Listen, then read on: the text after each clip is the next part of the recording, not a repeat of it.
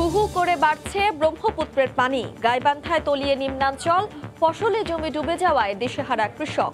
টাঙ্গাইলেও বন্যা পরিস্থিতির অবনতি। চালকের আসনে নয়, কফিন বন্দি হয়ে দেশে ফিরলেন পাইলট ক্যাপ্টেন নওশাদ। বিমানবন্দরের সহকর্মীদের শ্রদ্ধা, বলাকায় জানাজার পর বনানীতে দাফন। দ্রুত স্কুল কলেজ খুলে দিতে নির্দেশনা দেয়া হয়েছে সংসদে প্রধানমন্ত্রী। বললেন, করোনা মোকাবিলায় বাংলাদেশ যে ব্যবস্থা নিয়েছে তা অনেক দেশেই পারেনি। বিড়ম্বনার নাম ডেমো ট্রেন। বৃষ্টির মধ্যে ষোলোটি নষ্ট। ওয়ার্কশপ যন্ত্রপাতি না থাকায় হচ্ছে না মেরামত। দেশীয় প্রযুক্তিতে সচল করতে নেওয়া হচ্ছে প্রকল্প। এবং যুক্তরাষ্ট্রের নিউ ইয়র্কে আকস্মিক বন্যা। জরুরি অবস্থা জারি, বন্ধ সব ফ্লাইট। নিউ জার্সিতে একজনের মৃত্যু।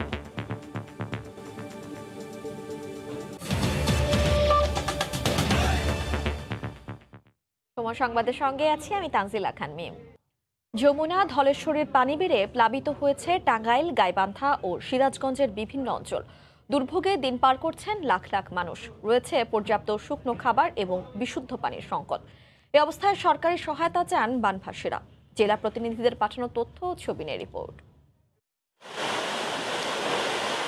হুহু করে লোকালয়ে ঢুকছে পানি। সড়ক ছাপিয়ে তলিয়ে গেছে ঘরবাড়িও। টাঙ্গাইল সদর সহ ছয়টি উপজেলার বেশ কয়েকটি এলাকায় থই থই করছে পানি। দেখে বোঝার উপায় নেই কোনটি রাস্তা আর কোনটি নদী। হাঁটু পানি মারিয়ে গন্তব্যে যেতে হচ্ছে সাধারণ মানুষকে। ডুবে আছে ঘরবাড়ি আর ফসলি জমি।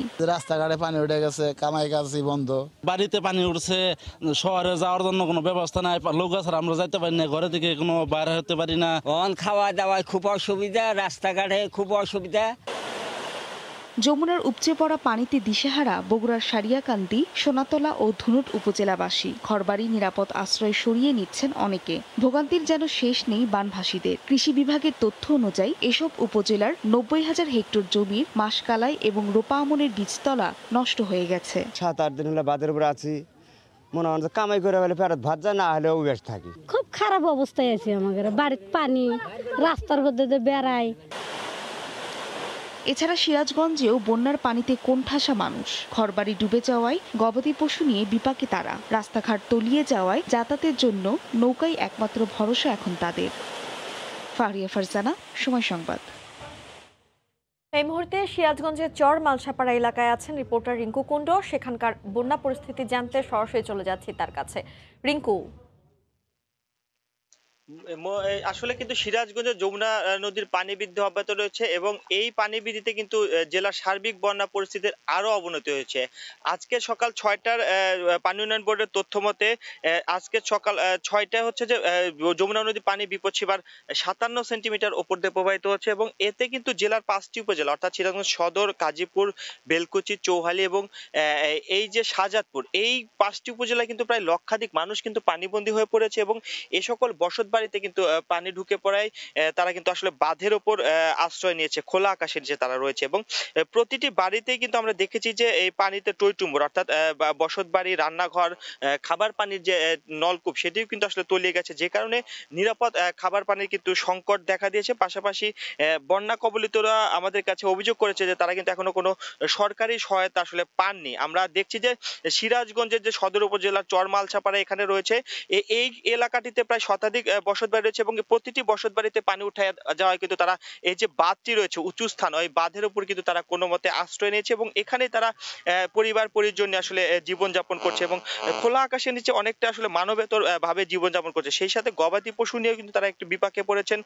গবাদি পশুর আসলে খাদ্যের সংকট কিন্তু গো খাদ্যের সংকট তারা আমাদেরকে বলেছেন এবং তারা যেটি বলছে যে এখনও সরকারি বেসরকারি কোনো সহায়তা কিন্তু পাননি এবং সেই সাথে জেলা প্রশাসনের সাথে আমার কথা হয়েছে জেলা প্রশাসক ডক্টর ফারুক আমাদের আহমেদ যেটি জানিয়েছে আমাদেরকে যে এখন পর্যন্ত পাঁচটি উপজেলায় মোট একশো চল্লিশ মেট্রিক টন জিআর চাল কিন্তু বরাদ্দ করা হয়েছে। পাশাপাশি বন্যা কবলিতদের যে সকল বন্যা কবলিত রয়েছে তাদের কিন্তু আসলে তালিকা তৈরি করা হচ্ছে এবং সেই তালিকাটি জনপ্রতিনিধিদের মাধ্যমে তৈরি করার পরেই কিন্তু তারা ত্রাণ তৎপরতা শুরু করবে। তো এক কথা বলা যায় যে এই পুরো বাদটিতে কিন্তু আসলে সারি সারি আহ, ঘর তুলে তারা অস্থায়ীভাবে আসলে কোন রকমে আশ্রয় নিলেও কিন্তু এখানে যে নিরাপদ পানির ব্যবস্থা সেটি কিন্তু নেই, সেই সাথে তাদের খাদ্য সংকটও কিন্তু কিছুটা রয়েছে। আমাদেরকে ক্ষয়ক্ষতির কথা তারা আমাকে জানিয়েছে। তো আমরা এই সাথে দেখছি যে সিরাজগঞ্জের যে নদী বেষ্টিত যে উপজেলাটি চৌহালি, সেখানে কিন্তু নদী ভাঙনও শুরু হয়েছে, বন্যার সাথে সাথে সেখানে নদী ভাঙনও চলছে। তো এই পাঁচটি উপজেলায় কিন্তু নদী তীরবর্তী এবং যমুনা নদীর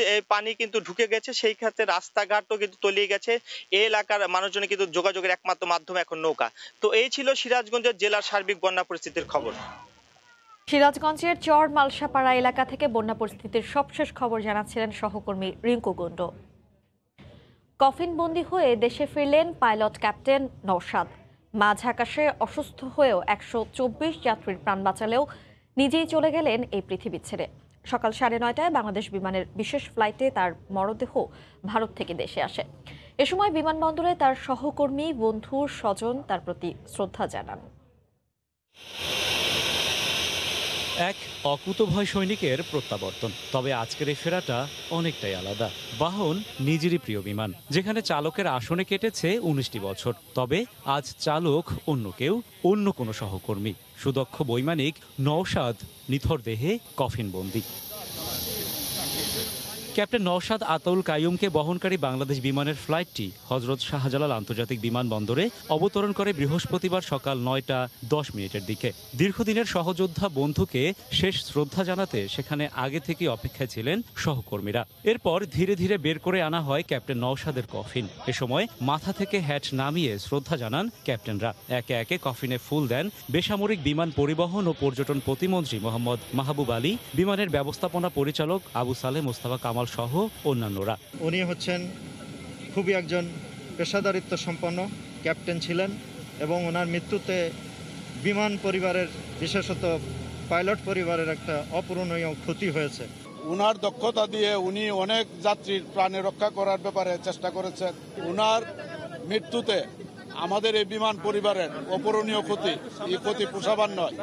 উনি দায়িত্ব পালন করারত অবস্থায় উনার মৃত্যু এটা একটা ভিন্ন মাত্রা বহন করে।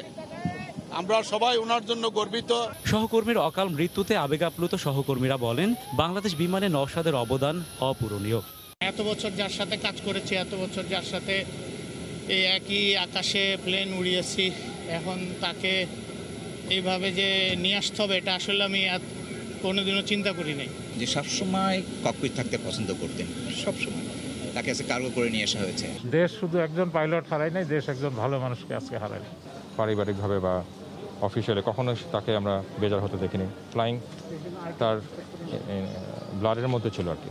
অ্যাম্বুলেন্সে করে মরদেহ নিয়ে যাওয়া হয় ক্যাপ্টেন নওশাদের উত্তরার বাড়িতে। সেখানে কিছুক্ষণ অবস্থানের পর মরদেহ বিমানের বলাকা কার্যালয়ে জানাজা শেষে দাফন করা হবে বনানী কবরস্থানে মায়ের কবরের পাশে।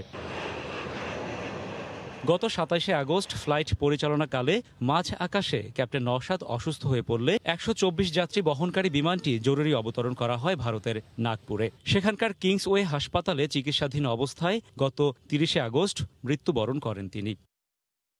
রাশেদ বাপ্পি, সময় সংবাদ, ঢাকা। সময় সংবাদে আরও থাকছে। করোনাকালে স্থিতিশীল অর্থনীতির স্বীকৃতি পেল বাংলাদেশ। দাসখন্দে তুলে দেয়া হলো আইটিএফসির বিশেষ সম্মাননা। প্রবৃদ্ধির ধারা অব্যাহত রাখার আহ্বান। দ্রুত শিক্ষা প্রতিষ্ঠান খুলে দিতে নির্দেশনা দেওয়া হয়েছে, জানিয়ে প্রধানমন্ত্রী শেখ হাসিনা বলেছেন, স্কুলের শিক্ষার্থীদেরও টিকা দেওয়া হবে। সরকার করোনা ও ডেঙ্গুর নিয়ন্ত্রণে কাজ করে যাচ্ছে জানিয়ে তিনি বলেন, টিকা দেওয়া সহ বাংলাদেশ এ ব্যাপারে যে উদ্যোগ নিয়েছে তা অনেক উন্নত দেশও করতে পারেনি। সংসদ অধিবেশনে শোক প্রস্তাবের ওপর আলোচনায় অংশ নিয়ে প্রধানমন্ত্রী শেখ হাসিনা বক্তব্য রাখছেন। করোনার প্রকোপ কমলেও সবাইকে স্বাস্থ্যবিধি মেনে চলার আহ্বান জানান সরকার প্রধান। ডেঙ্গুতেও মানুষ অসুস্থ হচ্ছে যে ডেঙ্গুতে আমি বলব সবাই যেন নিজের ঘর বাড়িটা যেন পরিচ্ছন্ন রাখে। করোনা ভাইরাসের প্রকোপ কিছুটা কমেছে, কিন্তু কমলেও সবাইকে কিন্তু সাবধানে থাকা উচিত। হয়তো আমরা লকডাউন তুলে, এখন তুলে নেওয়া হয়েছে কিন্তু স্বাস্থ্যবিধিটা মেনে চলার জন্য আমি সবাইকে অনুরোধ করব। আর টিকার কোনো সমস্যা নেই। আমরা যেখান থেকে যতভাবে পারি টিকা আমরা নিয়ে আসছি। আমরা খুব তাড়াতাড়ি স্কুল, কলেজ খুলে দেওয়ার জন্য ইতিমধ্যে আমি নির্দেশ দিয়েছি, সেই ব্যবস্থাও নেওয়া হচ্ছে। ইতিমধ্যে প্রায় ছয় কোটি টিকার টাকা অলরেডি আমরা দিয়ে দিয়েছি পর্যায়ক্রমে আসতে থাকবে। সরকারের পক্ষ থেকে যা যা করে আমরা করে যাচ্ছি। আমরা হ্যাঁ জানি, অনেকে বক্তব্য, অনেক কিছুই বলেন কিন্তু বাস্তব চিত্রটা যদি দেখেন অন্য দেশের সাথে যদি তুলনা করেন, তা আমাদের এই ঘন বসতিপূর্ণ এলাকা, সেই জায়গায় আমরা যেভাবে এইটা নিয়ন্ত্রণের ব্যবস্থা নিয়েছে, এরকম অনেক উন্নত দেশও কিন্তু নিতে পারেনি। এটা হলো বাস্তবতা। কাজে আমাদের প্রচেষ্টা সবসময় আছে। করোনা ভাইরাসের স্পাইক প্রোটিনে তেমন কোনো পরিবর্তন না হওয়ায় চট্টগ্রামের দু ডোজ টিকা গ্রহণকারীরা অনেকটা নিরাপদ। এমনকি নতুন কোনো ভ্যারিয়েন্ট না আসায় বিদ্যমান আলফা, বেটা ও ডেল্টা ভ্যারিয়েন্ট ভয়াবহ সংক্রমণ বিস্তারেও কোনো ভূমিকা রাখতে পারবে না। তিনশো পজিটিভ নমুনার স্পাইক প্রোটিনের সিকোয়েন্সিং ও মিউটেশন করে এসব তথ্য নিশ্চিত করেছেন সিভাসুরের গবেষক দল।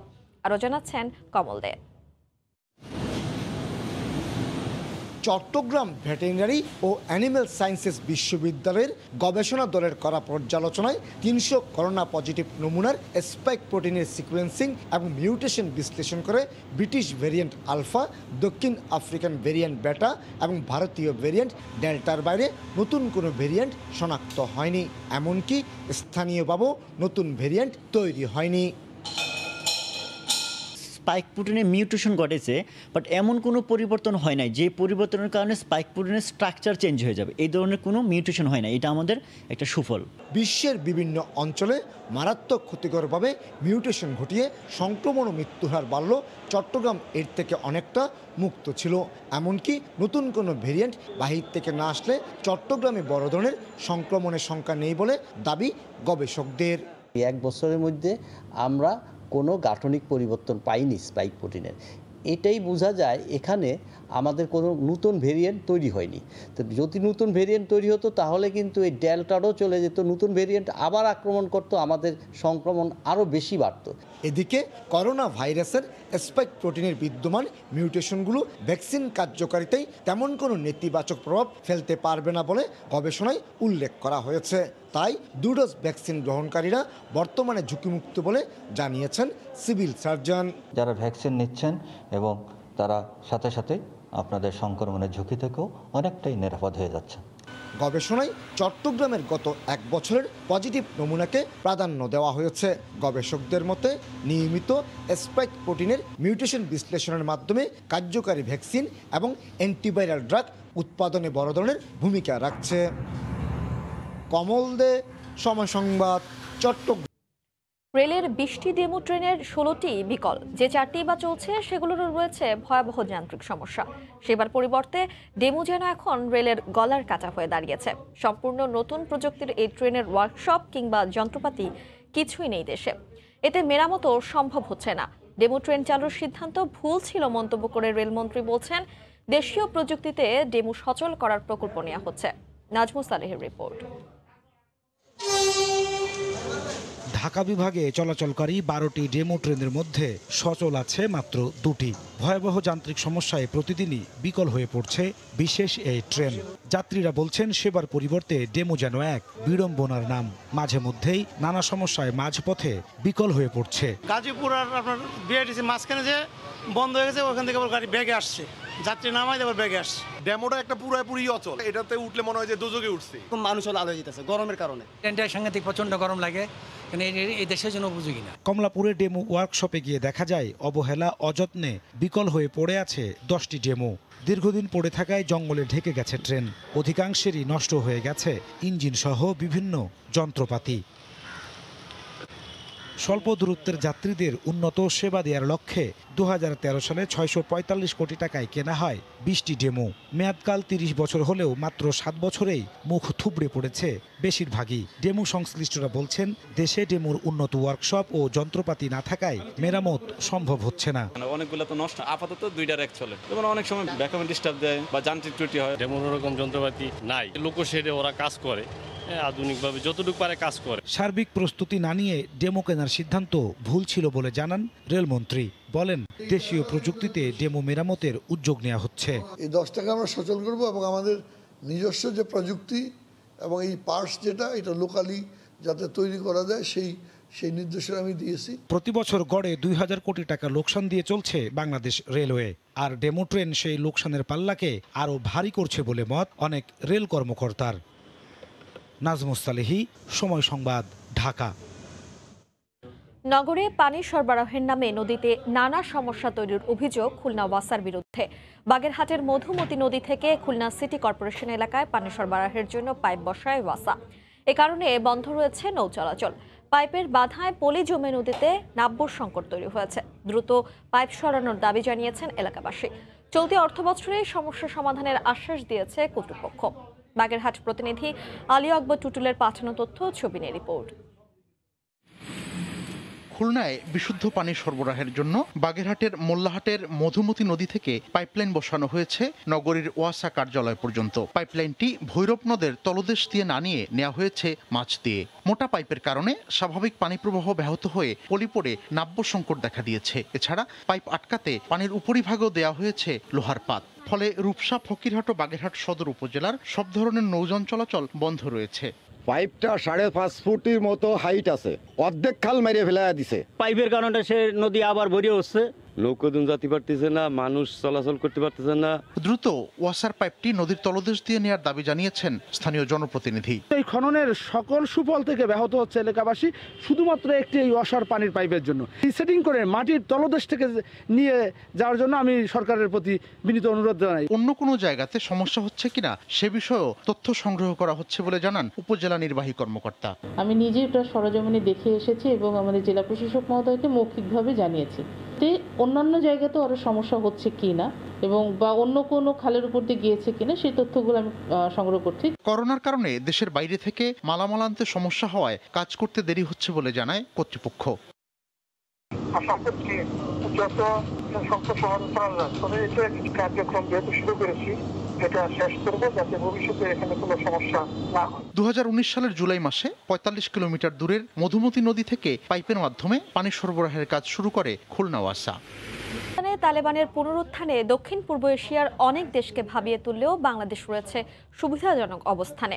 পররাষ্ট্র সচিব মাসুদ বিন মোমেন সময় সংবাদকে জানান দেশটিতে জনগণের সরকার প্রতিষ্ঠিত হলে উন্নয়ন অংশীদার হতে চায় বাংলাদেশ। আন্তর্জাতিক সম্পর্ক বিশ্লেষকদের মতে, জঙ্গিবাদ দমনের সরকারের জিরো টলারেন্স নীতি বাড়তি সুবিধা দেবে। সাতিলা শর্মিনের রিপোর্ট। উনিশশো থেকে দুই হাজার এক সাল পর্যন্ত আফগানিস্তানে রাষ্ট্র ক্ষমতায় ছিল তালেবান সরকার। দুই দশক পর গোড়া ইসলামী এই গোষ্ঠী আবারও ক্ষমতা দখলের পর আন্তর্জাতিক কূটনীতিতে চলছে নানা হিসেব নিকেশ। আসছে নিরাপত্তার প্রশ্ন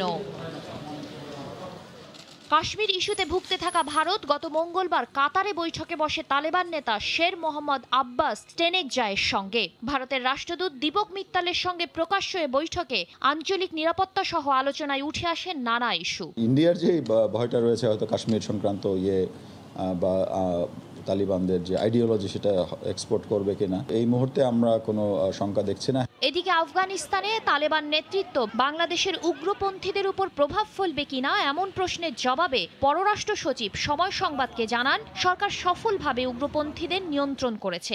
এছাড়া ভবিষ্যতে ঢাকা কাবুল সম্পর্ক নির্ভর করছে তালেবানের পরবর্তী পদক্ষেপের উপর। সিকিউরিটি সিচুয়েশনটা is the most important thing তো ওইটা আমরা দেখব আর নতুন সরকার কীভাবে ইমার্জ করে বা ফর্ম হয় সেই বিষয়গুলো আমাদেরকে একটু দেখতে হবে। একটু সময় লাগবে বাট আমরা দেখছি এগুলো। আমার মনে হয় না যে বাংলাদেশে এমন কোনো সিচুয়েশন আছে যে তালেবানদেরকে নিয়ে আমাদের অস্থির হওয়ার কিছু আছে।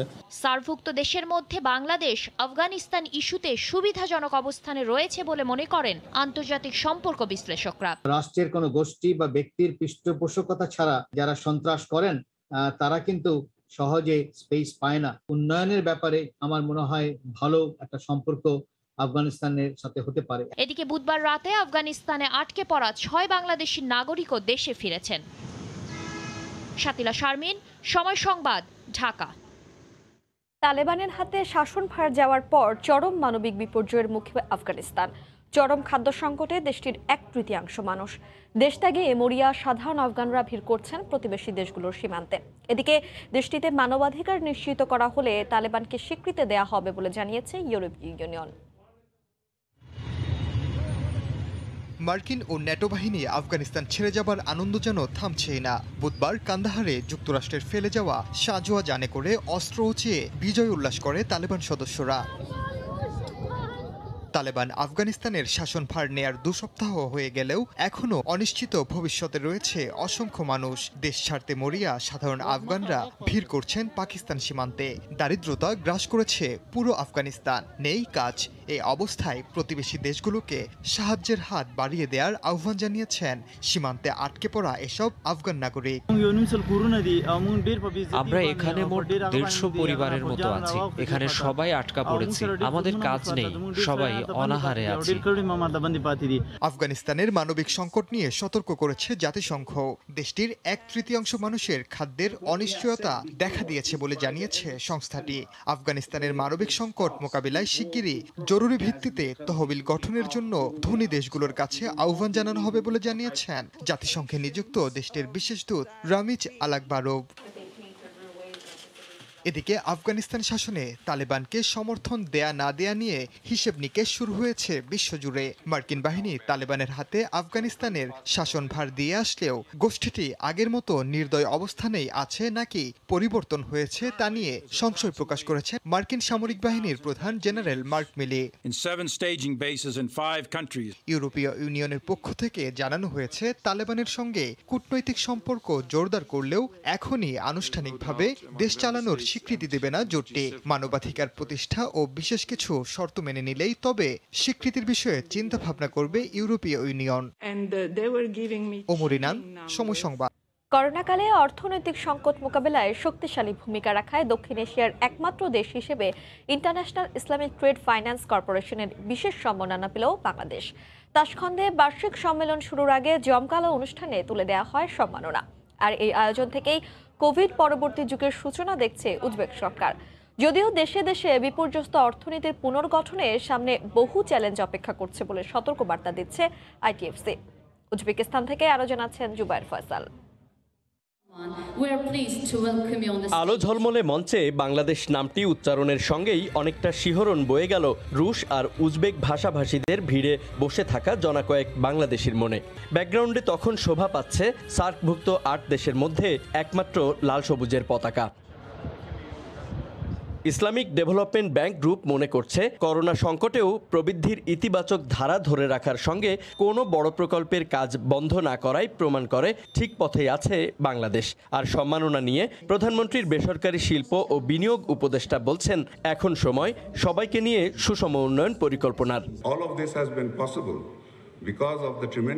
কোনো সন্দেহ নেই বাংলাদেশের অর্থনীতিতে আইডিবির প্রচুর অবদান রয়েছে। জ্বালানি তেল আমদানি ও বেসরকারি ব্যাংকগুলোতে সংস্থাটি অর্থায়ন করছে। আমরা চাই এই সহযোগিতা অব্যাহত থাকুক। যে ইতিবাচক ইমেজ আমরা অর্জন করেছি তা সরকারের অন্তর্ভুক্তিমূলক পরিকল্পনা বাস্তবায়নেরই ফল। আমরা কখনোই আর কাউকে পেছনে ফেলে সামনে এগোতে চাই না। বিশ্বজুড়ে এখনও চোখ রাঙানি বন্ধ করেনি করোনা সম্মেলন কেন্দ্রেও করোনার র্যাপিড টেস্ট সহ নানামুখী ব্যবস্থা নিয়েছে আয়োজক দেশ এরপরও চমকপ্রদ এক ঘোষণাই দিয়ে বসলেন উজবেকিস্তানের উপপ্রধানমন্ত্রী I think it has a great symbolism.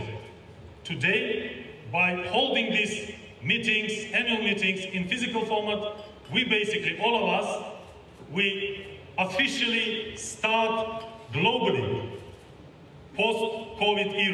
যদিও অর্থনীতির ক্ষতি কাটাতে কি পরিমাণ ঝক্কি সামলাতে হয়েছে তা স্মরণ করিয়ে দিয়ে এসএমই আর শিল্প খাতে অর্থায়ন অব্যাহত রাখার আহ্বান আইটিএফসি সিইওর। অর্থনীতি যাতে ভেঙে না পড়ে সেজন্য আমরা যেসব পদক্ষেপ নিয়েছি তার সর্বোচ্চ প্রভাব সদস্য দেশগুলোতে দেখতে চাই। আমাদের ভুলে গেলে চলবে না আমরা স্বাভাবিকের চেয়ে কয়েক গুণ বেশি অর্থ শুধু এসএমই খাতেই দিয়েছি। আমরা চেয়েছি কেউ যেন কর্মহীন না থাকেন। The new ITFC strategy. Corona পরবর্তী অর্থনৈতিক পুনর্গঠন ও সবার জন্য সমৃদ্ধির বার্তা নিয়ে তাসখন্দে শুরু হয়েছে ইসলামিক ডেভেলপমেন্ট ব্যাংক গ্রুপের বার্ষিক সভা। পাঁচ দিনের এই আয়োজনে বিশ্বের সাতান্নটি দেশের সরকার অর্থনীতিবিদ ব্যবসায়ী ও উন্নয়ন কর্মীরা যোগ দিয়েছেন। জুবাইর ফসল সময় সংবাদ তাসখন্দ উজবেকিস্তান। বাংলাদেশে তৈরি হয়েছে মঙ্গল গ্রহের মাটিতে চলাচলযোগ্য rover BSC univer one point O.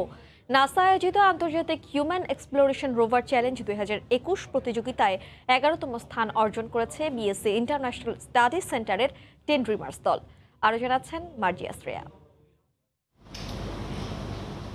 করোনায় যখন পুরো বিশ্ব স্থবির, তখন নাসার আহ্বানে সব প্রতিকূলতা জয় করে গবেষণা চালিয়ে গেছে রাজধানীর বিএসসি ইন্টারন্যাশনাল স্টাডি সেন্টারের গবেষক দল টেন ড্রিমার্স। আবিষ্কার করেছে BSC univer one point O. আর এই রোভার বানিয়ে তারা অর্জন করেছে বিজয়ীদের তালিকার এগারোতম স্থান। প্রায় আমরা এক বছরের মতো গবেষণা করার পর নাসাতে হচ্ছে আমরা প্রপোজাল পাঠাই, যেটাকে বলা ইন্টারন্যাশনাল টিম প্রপোজাল তারপর সারা বিশ্ব থেকে নাসা তেইশটি দল নির্বাচন করে এবং আমরা সারা বিশ্বের মধ্যে নির্বাচিত হয়ে আমরা দুই হাজার একুশ সালের হিউম্যান এক্সপ্রেশন রোবার চ্যালেঞ্জে সারা পৃথিবীর মধ্যে এগারোতম এবং বাংলাদেশ থেকে প্রথম স্থান অর্জন করেছি আর কি। প্রয়োজনীয় উপাদান আর ল্যাব সংকট থাকা সত্ত্বেও গবেষণা চালাতে পিছপা হয়নি টেন ড্রিমার্স ও এর সাথে সংশ্লিষ্টরা। শুধু মেইন স্ট্রিমের ইউনিভার্সিটিগুলাই না এই যে ছোট ছোট অর্গানাইজেশনগুলো আছে টিচিং ইনস্টিটিউশন এরাও কিন্তু এই কাজগুলো করতে পারে। এক্সপার্টিস কিন্তু আমাদের নাই। আবারও দু হাজার বাইশ সালের প্রতিযোগিতায় অংশ নিয়ে প্রথম স্থান অধিকার করার প্রত্যয় ব্যক্ত করেছে টেন ড্রিমার্সের ইনফরমেশন অফিসার সালসাবিলা চেষ্টা থাকবে দুই হাজার বাইশ সালে যেন আমরা প্রথম স্থান প্রথম স্থান অধিকার করতে পারি। আর সবচেয়ে ইম্পর্ট্যান্ট বাংলাদেশের নামটাকে যেন আমরা মানে নাসাতে যেন আমরা বড় করে তুলে ধরতে পারি। তাদের এ প্রচেষ্টায় মিডিয়া পার্টনার হিসেবে সময় টেলিভিশনকে পাশে পেয়ে আয়োজিত শুভেচ্ছা প্রদান অনুষ্ঠানে ধন্যবাদ জানিয়েছে টেন ড্রিমার্স দলের প্রধান ও অ্যাডভাইজার। মার্জিয়া শ্রেয়া সময় সংবাদ ঢাকা। এই পর্যায়ে শীর্ষ সংবাদ জানিয়ে দিচ্ছি আরও একবার। হু হু করে বাড়ছে ব্রহ্মপুত্রের পানি গাইবান্ধায় তলিয়ে নিম্নাঞ্চল। ফসলি জমি ডুবে যাওয়ায় দিশেহারা কৃষক টাঙ্গাইলেও বন্যা পরিস্থিতির অবনতি। দ্রুত স্কুল কলেজ খুলে দিতে নির্দেশনা দেওয়া হয়েছে, সংসদে প্রধানমন্ত্রী বললেন, করোনা মোকাবেলায় বাংলাদেশ যে ব্যবস্থা নিয়েছে তা অনেক দেশেই পারেনি। এবং চালকের আসনে নয় কফিন বন্দী হয়ে দেশে ফিরলেন পাইলট ক্যাপ্টেন নৌশাদ বিমানবন্দরের সহকর্মীদের শ্রদ্ধা, বলাকায় জানাজার পর বনানীতে দাফন। এ ছিল এখনকার মতো সঙ্গে থাকুন সময়